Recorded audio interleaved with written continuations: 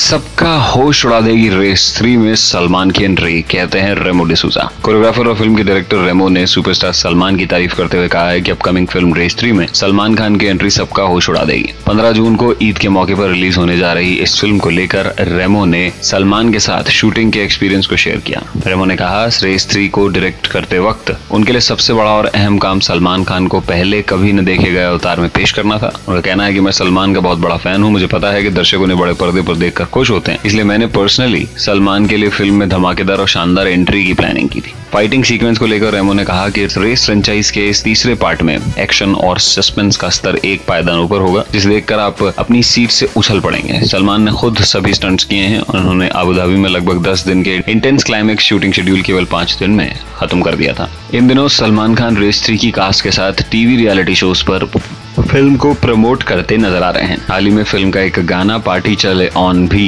Release किया गया था। उससे पहले गाना सेल्फिश रिलीज़ हुआ था, जिसे सलमान खान ने लिखा है। इस फ़िल्म की रिलीज़ को पाँच दिन बचे हैं। अब फ़िल्म की ओपनिंग डे कलेक्शन पर नज़र टिकी है। देखना मज़ेदार होगा कि सलमान की इस साल रिलीज़ होने वाली ये पहली फ़िल्म 2018 में कौन से बॉलीवुड रिकॉर्ड्स को तोड़ देती है।